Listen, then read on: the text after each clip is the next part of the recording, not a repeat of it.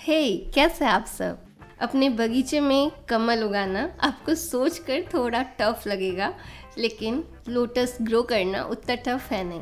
इस वीडियो में मैं आपको लोटस को ग्रो करने के जो दो तरीके हैं बीजों से और ट्यूबर से वो दोनों ही बताऊँगी। साथ ही पौधे की देखभाल आप कैसे कर सकते हैं और फ्लावरिंग तक का अपडेट चलिए फिर वीडियो स्टार्ट करते हैं। शुरुआत करते हैं बीजों को उगाने के तरीके से। ये कमल का बीज है और अगर आप इसे ध्यान से देखेंगे तो देखेंगे कि एक साइड थोड़ा नुकीला सा निकला हुआ रहता है और एक साइड फ्लैट सरफेस होता है। जो थोड़ा पॉइंटेड निकला हुआ सा पार्ट है, उससे ही हम घसेंगे। घसने के लिए आप कोई भी सीमेंट का रफ सरफेस ले सकते हैं या फिर आप सैंड पेपर पे भी घस सकते हैं। मैंने थोड़ा पानी डाल दिया है और बैठ के आराम से घिस लूँगी। तब तक घसना है जब तक आपको सफ़ेद या हल्का ब्राउन कलर का चीज़ ना दिखने लगे। ये जो प्रोसेस है ना घसने वाला, इसे स्कैरिफिकेशन कहते हैं, ये हार्ड सीड कोट को ब्रेक करने के लिए करा जाता है। दो बीजों को अच्छे से स्कैरिफाई कर लिया है मैंने और अब बस इन्हें पानी में डालना है। बड़े आराम से सीड जर्मिनेट हो जाते हैं, बस आप हर रोज़ एक बार पानी बदल दीजिएगा, उससे किसी भी तरह का फंगल इन्फेक्शन नहीं होगा। बीजों को पानी में रखे हुए तीन दिन हो गए हैं और आप देख पा रहे होंगे जर्मिनेशन स्टार्ट हो गया है। अब दोनों ही बीज जर्मिनेट हो गए हैं। जर्मिनेशन में जो टाइम लगता है, वो आपकी तरफ़ के टेम्परेचर पे डिपेंड करते हैं।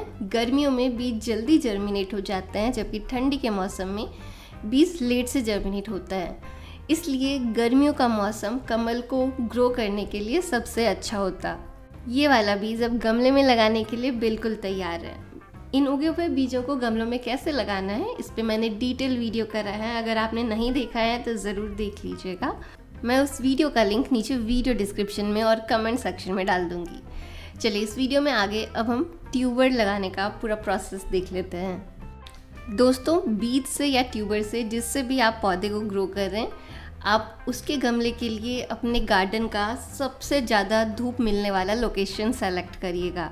मैंने 16 इंच चौड़ाई और 14 इंचेस गहराई वाला गमला लिया है। लोटस ट्यूबर को ग्रो करने के लिए ये सफिशियंट है। इससे छोटा मत लीजिएगा, इससे बड़ा आप ले सकते हैं। गमले का ड्रेनेज होल मैंने इपॉक्सी कंपाउंड से बंद कर लिया था। और सबसे पहले इस गमले में हम फर्टिलाइज़र डालेंगे। कोई भी बैलेंस्ड एन आप यूज़ कर सकते हैं। मैं जो यहाँ पे यूज़ कर रही हूँ, वो 19 19 19 वाला है। ट्यूबर ग्रो करते वक्त एन डालना काफ़ी ज़रूरी होता है, क्योंकि ट्यूबर को इंस्टेंट न्यूट्रिएंट्स चाहिए होते हैं।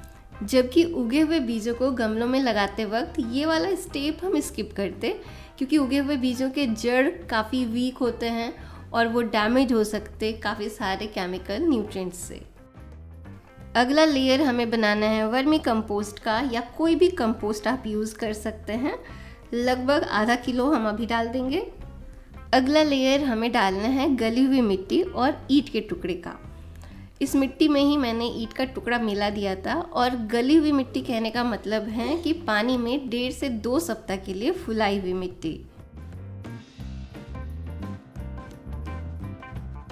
मिट्टी को लेवल करने के बाद उसमें हम ट्यूबर लगा देंगे।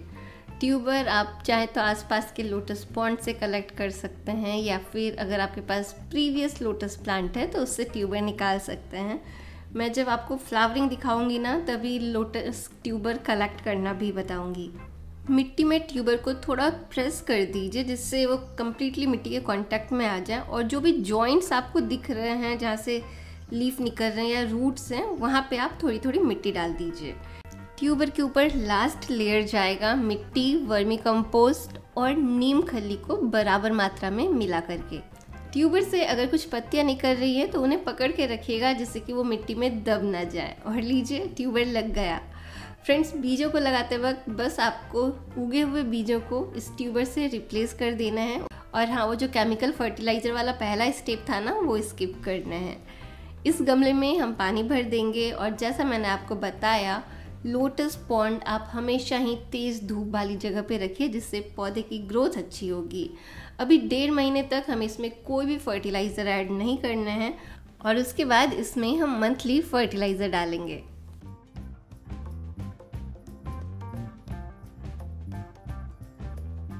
ट्यूबर से ग्रो हुए पौधे की पहली पत्ती आ गई, कितना क्यूट दिख रहा ना?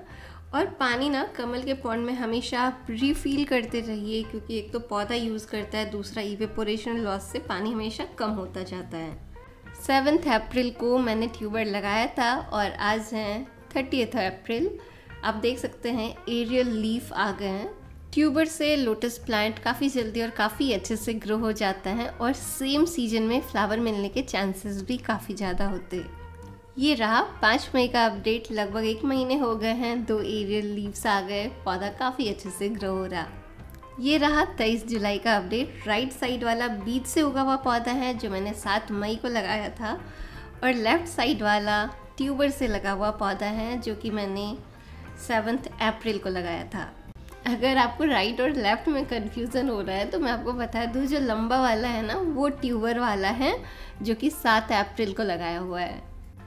ट्यूबर या बीज से लगाने के डेढ़ महीने तक कोई भी फर्टिलाइज़र डालने की ज़रूरत नहीं है और उसके बाद जो फर्टिलाइज़र आपको हर महीने एक बार यूज़ करना है, चलिए मैं आपको वो बता दूँ और साथ ही जो कुछ ज़रूरी केयर टिप्स हैं, वो बता दूँ।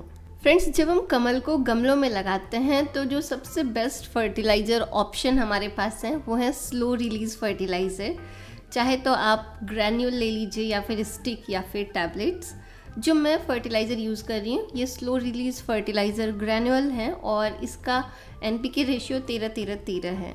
एक मुट्ठी के आसपास ये फर्टिलाइज़र हर महीने एक बार पानी में डाल देना है। पत्तियों पे मत छोड़िएगा, सारे ग्रैन्यूल्स पानी के अंदर जाने चाहिए। ये फर्टिलाइज़र आपको सीड या ट्यूबर जिससे भी लगाएँ, वो लगाने के डेढ़ महीने बाद से हर महीने एक बार डालना है। फ्रेंड्स अगर आप मुझसे इसका ऑप्शन पूछेंगे तो मैं कहूँगी कि अगर आप गमले में लगा रहे हैं तो ये सबसे बेहतर ऑप्शन है। अगर आपको स्लो रिलीज़ फर्टिलाइज़र नहीं ही मिल पा रहा है तो आप नॉर्मल एन यूज़ कर सकते हैं। उस केस में आप हर दस दिन में यूज़ कर लीजिए और अमाउंट जितना मैंने एक महीने के लिए यूज़ किया है ना वन हैंडफुल उसका एक चौथाई बस डालिएगा। और अगर आप सिर्फ़ ऑर्गेनिक फर्टिलाइज़र जैसे कि कॉम्पोस्ट या वर्मी कंपोस्ट यूज़ करना चाहते हैं तो उस केस में आप बड़ा गमला लीजिए। कम से कम दो फीट चौड़ाई और डेढ़ फीट गहराई वाला या फिर ज़मीन में गड्ढा बना करके लोटस को ग्रो कर लीजिए। फर्टिलाइज़र के बाद जो दूसरी ज़रूरी चीज़ है, वो है पौधे और गमले की साफ़ सफ़ाई। पानी के ऊपर जो भी सड़े गले पत्ते हैं, आप उन्हें कॉन्स्टेंटली हटाते रहिए। दूसरा जो सूखे पत्ते बाहर हैं, उन्हें हटा दीजिए।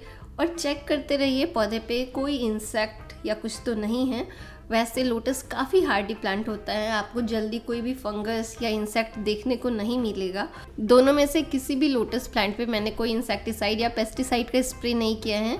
जो नॉर्मल नीम ऑयल स्प्रे मेरे गार्डन में होता है, बस वही कभी कभार मैंने लोटस पे स्प्रे करवाया है, बाकी उसकी भी कोई ज़रूरत नहीं पड़ती है। गमलों की साफ़ सफ़ाई में एक और ज़रूरी चीज़ है ग्रीन एल्गी को हटाते रहना। कभी कभी लोटस पॉन्ड में ग्रीन एल्गी ग्रो होने लगते हैं तो आप उन्हें किसी स्टिक की मदद से आसानी से हटा सकते हैं। कभी कभी तो एक बार हटाने के बाद ही ये ग्रीन एल्गी ख़त्म हो जाते हैं, जैसे कि मेरे सीड वाले लोटस पॉन्ड में एक बार बस मैंने हटाया, उसके बाद वो नहीं ग्रो हुए। लेकिन ट्यूबर वाले में बार बार ग्रो हो जा रहा है तो मैं हर 10-15 दिन में स्टिक की मदद से जो भी ग्रोथ होती है ग्रीन एल्गी की, उन्हें हटा देती हूँ।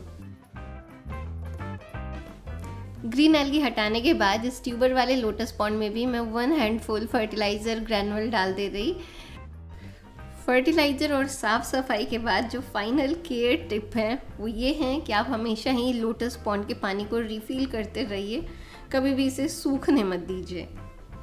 ये रहा अपडेट फिफ्टीन अगस्त का। फ़र्स्ट फ्लावरिंग बर्ड दिख चुका है। होपफुली इस सीज़न हमें बहुत सारे फ्लावर्स मिलेंगे। कमल में अगस्त से लेकर के अक्टूबर के मिड वीक तक फ्लावर्स आते हैं। उसके बाद पौधा थोड़ा डॉर्मेंट होने लगता है। दिसंबर, जनवरी में पौधा पूरा ही डॉर्मेंट रहता है। आपको थोड़ी भी पत्तियाँ नहीं दिखेंगी। और मार्च के बाद से पौधा फिर से रीग्रो होने लगता।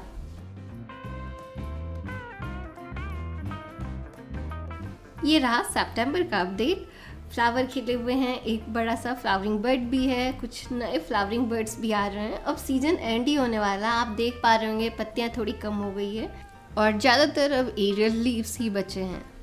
चलिए, अब मैं आपको बता दूँ कि आपको ट्यूबर कैसे कलेक्ट करना है, किसी भी प्रीवियस प्लांट से, चाहे वो आपके गमले में हो या फिर आपके आसपास के लोटस पॉन्ड में। आपको ये नोट दिख रहे हैं। देखिए, यहाँ से रूट्स भी निकले हुए हैं और इसी नोट से पत्तियाँ आई है, साथ ही एक फ्लावरिंग बर्ड भी आया हुआ है। इसी नोट को आपको प्रोपगेशन के लिए यूज़ करना है। नोट के दोनों तरफ़ चार चार इंच छोड़कर आप काट लीजिए और उस नोट को जैसे मैंने आपको ग्रो करना, बताया, गमले में लगाना रूट्स को मिट्टी के अंदर दबा करके वैसे ही लगा दीजिए। ये देखिए, एक लोटस सीड पॉट भी बन रहा है, जो ब्लैक ब्लैक स्पॉट्स आपको दिख रहे हैं ना, वही धीरे धीरे बड़े होकर के सीड बनते हैं और इन्हें कलेक्ट करके हम ग्रो कर सकते हैं, जैसे मैंने आपको बताया। दोस्तों, इस गमले में उगा हुआ ये ब्यूटीफुल सा फ्लावर एक कली और आने वाली जो भी कलियाँ हैं, वो मुझे इतनी खुशी दे रही है मैंने बहुत सोचा था लोटस प्लांट को अपने गार्डन में ग्रो करने से पहले, लेकिन ये रिज़ल्ट देख करके मैं आप सबको रेकमेंड करूँगी कि ज़रूर एक बार ट्राई करिएगा लोटस प्लांट को अपने गार्डन में, गमले में ग्रो करना। इस वीडियो में बस इतना ही। मिलूँगी आपसे अपने अगले वीडियो में। ख्याल रखिएगा अपना। ख्याल रखिएगा मदर नेचर का। Bye friends take care happy gardening green earth healthy earth happy earth practice garden signing off